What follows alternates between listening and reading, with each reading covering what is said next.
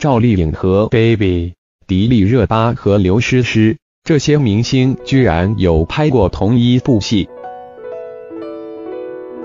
我们总觉得娱乐圈好像挺大的，有些明星之间更像是八竿子打不住。但是相信你看完这篇文章后，就会和炮子一样发出感慨：他们，他们居然也合作过。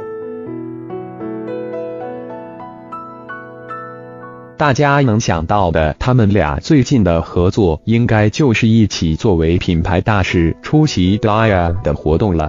但是在二零一五年的电视剧《云中歌》中，两人已经有过合作，而且有过对手戏。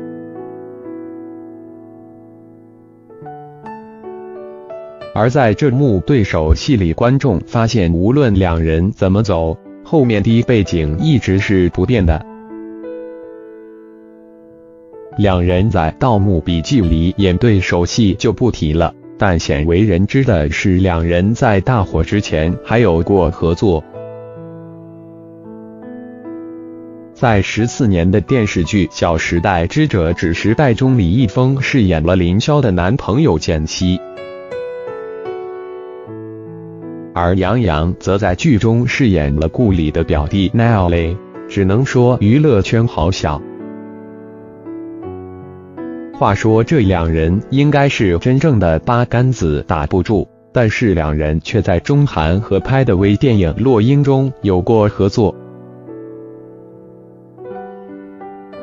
这两人虽然都很红，但是好像一直没有过合作。但是两人其实，在二零一二年的电视剧《轩辕剑之天之痕》中已经有过合作。这两人。好像真的没什么交集，但是其实热巴又客串过2014年刘诗诗主演的电视剧《风中奇缘》，两人还有过对手戏。